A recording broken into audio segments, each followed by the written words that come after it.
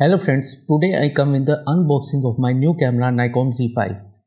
This camera was launched in 2020 because of some reason I was not able to purchase on that time and I was also not decided to move to the mirrorless cameras.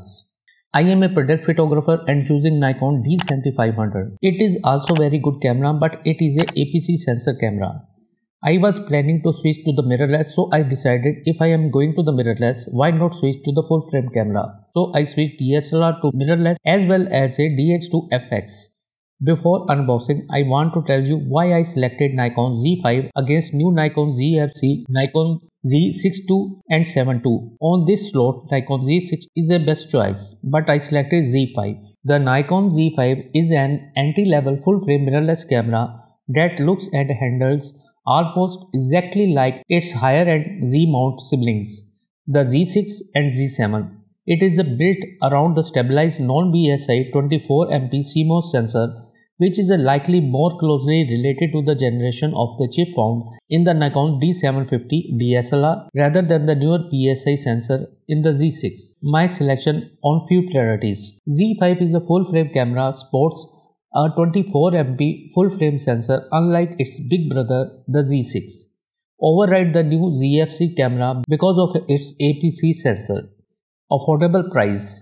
Built-in focus shift feature best of the product and macro photography. The 273 points hybrid AF system easier to operate AF's tracking mode and increasing reliability when using face and eye detection.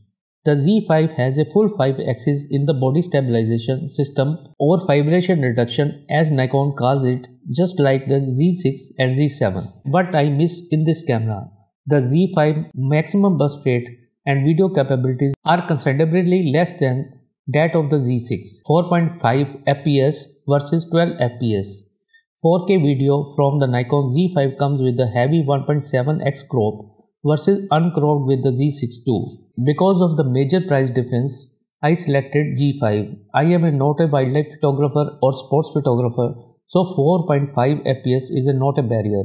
As far concern of a cropped video, I don't much require uncropped 4K videos. Let's start unboxing Nikon Z5. It is a Nikon Z5 box and FTZ tube adapter box. First I am unboxing a Z5 box very attractive black and yellow box. This is a kit with the Nikon Z24 200 Z series lens.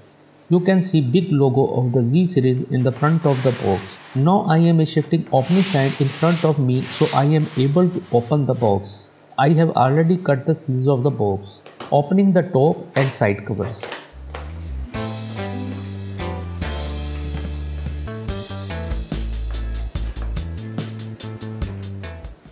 In the first shelf of the box, you will find documents and cards. The first card is a Nikon membership card. Next, I picked Z5 instruction manual. Many people don't read it, but I always read each and every feature of the product I have purchased. I strongly recommend you to read it. 2 year warranty card is also here. It is a very important to complete the dealer stamps. In my 20 year journey with the Nikon, I never faced any issue with the camera. If any will come, you need to complete all formalities of your warranty card. The last card is the list of the service centers where you can avail the free services in the warranty period or paid or paid after warranty period expired. Now I am opening the top shelf to unbox the camera.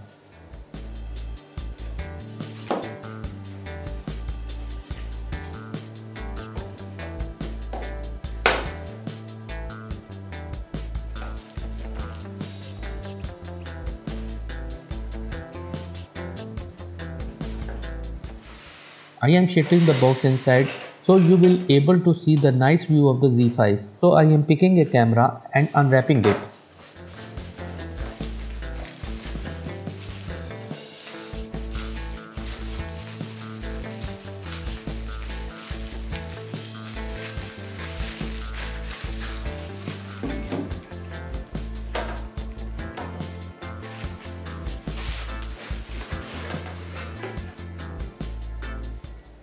The Z5 sits comfortably in the hand and feels exceptionally well, well constructed, while it is the same size of the weight as the Z6. Some of Z5's body components are plastic rather than magnesium alloy, including the back and the base. But you did be hard pressed to notice the difference, even with the both cameras in front of you. And Nikon says Z5 is a dust and moisture sealed to the same impressive standard at a Z6 and Z7. There is a nice big 3.2 inch LCD monitor on the back of the camera which makes composing shots and using the touch screen to adjust settings and focus quick and easy. But while the monitor does pop away from the camera body to tilt up and down, it does not flip or rotate. The Z5 touchscreen is a nice and responsive and can be used while shooting for AF placement or to the fire the shutter while navigating the menus and while browsing the images in playback. This kit comes with the Nikon 24-200mm Z mount lens, but I choose the Nikon 24-70mm S-line lens. This is one of the most important lens Nikon has announced in the recent years. Although the retail price of a 24 70mm f4 is a dollar per thousand. Most photographers will buy it as a part of a kit with the Nikon Z6 or Z7 instead. That brings the price down to the much more reasonable $600. That price along with the limited number of the Z lenses so far means that most people who buy a Z6 or Z7 will end up with the 24 by 70 f4 in their bag from the day one. The S-Line is a designed to be the sharpest and the best available which goes some way to explaining their higher asking price. Although the Nikon Z2470F is a not designated as a macro lens, it is suitable for the use when shooting typical macro subject such as flowers, you can get fairly close to your subject with the minimum focusing distance of 0.3 mm of 0.3 meters. Usually described in qualitative terms such as smooth or creamy, bokeh is the word to describe the out of focus area in an image. Although the maximum aperture of a lens f4, you can still get very pleasing shallow depth of field with the pleasing and attractive bokeh since evaluation of bokeh can often be down to the personal preference. Z2470 is the sharpest focus distance of a 0.3 meter and pleasing bokeh on f4. These are main reasons I prefer Z2470 f4 against 24 to 200. You will also get a C-type cable to charge camera battery and tethering camera with the computer. Definitely you will find charging cord and Nikon Z5 battery charger in the kit. It is the same charger you can use for the Nikon D7000 series and Nikon Z6 and Z7 cameras.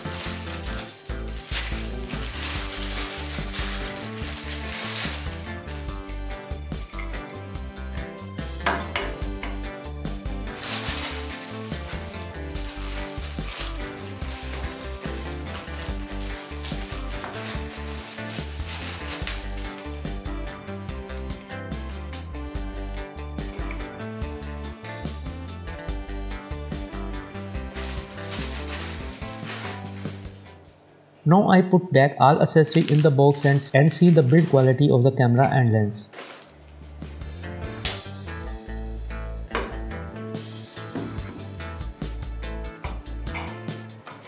First I am opening the body cap so I can attach the lens to the camera and also opening lens cap and rear cap of the Nikon Z2470. I am attaching the lens to the camera from white point so always take care attach your lens to match the white marker both on lens and camera body to avoid any accidental damage. The big difference between the currently available 2470 and other lenses is that the for the 2470mm before you can use the lens you will need to twist to unlock it. This helps to keep it smaller for carrying around when not in use and you can always leave it extended if you are taking a lot of picture in fairly rapid succession. If you switch on the camera while the Nikon Z24-70 f4 is locked, a warning will be displayed on the screen to tell you to unlock it. As you unlock it, you can see the display on the screen. Here are options in the back display button so you can switch the display that you want to see on the screen. As you are able to see the settings display to camera view display now.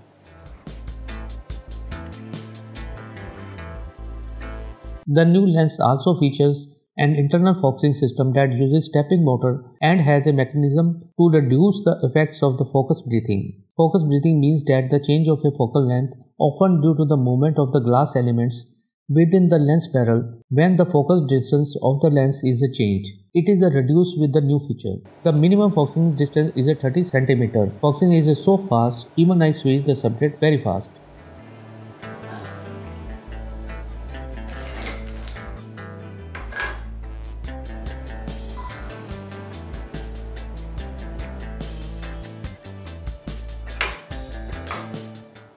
I am putting back all caps on the box so you can see the close look on the camera and lens.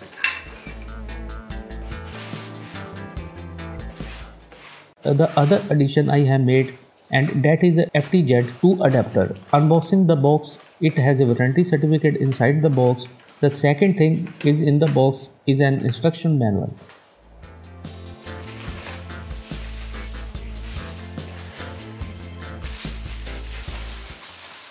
Finally, you can see the small adapter look like a teleconverter. The Nikon FTZ second adapter lets you mount Nikon F mount DSLR lenses on its newer Z mount mirrorless cameras. But is the updated new Nikon FTZ adapter worth getting? In a word, yes. In three words, yes or no, it is definitely worth the investment if you are if you are switched to mirrorless Z, Z series camera from Nikon DSLR and have some F mount lenses that you did like to keep using. It is also useful for plugging the remain gaps in the Nikon Z mount lens lineup and the F mount substitutes. For example, there is a non-native Z mount compact telephoto zoom for the full frame cameras, nor a fairly inexpensive 105mm macro lens M mount lens like the Nikon AF7300mm f4.5 5.6 EDVR. So let's take how it works with the my Nikon 7300 f4.5 5.6. I have this lens with me now and you can see it is a Nikon 7300 DX format lens and I am using on my FX full frame body with the help of FTZ adapter. I am releasing the 2470 from the camera body and opening the Z mount cap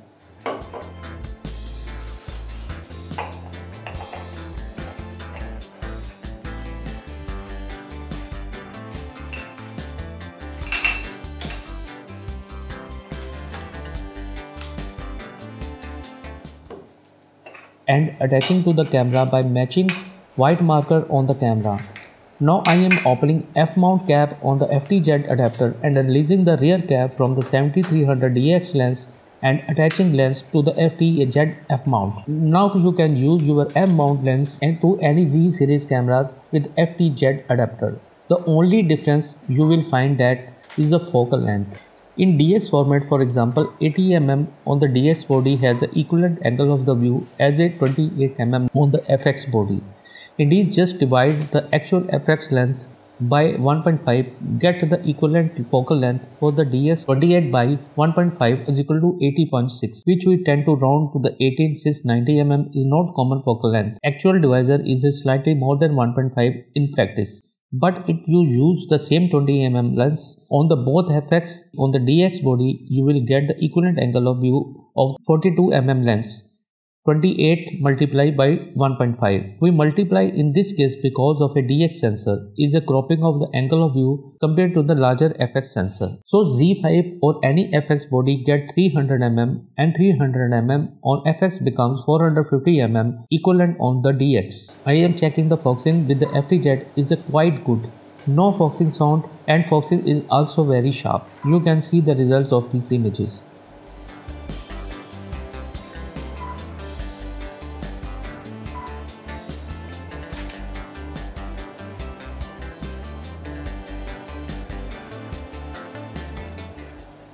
Now I am releasing 70 to 300 lens and also releasing the FTZ adapter and attaching the 24 by 70 lens to the body again.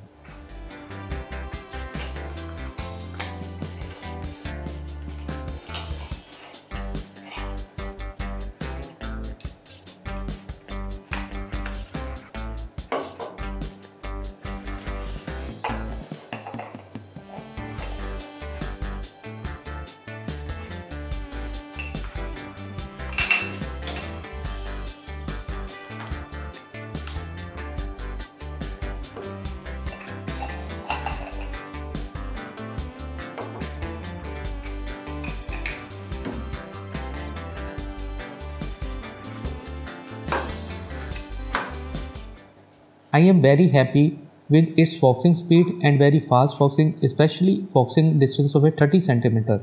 You can shoot like a macro.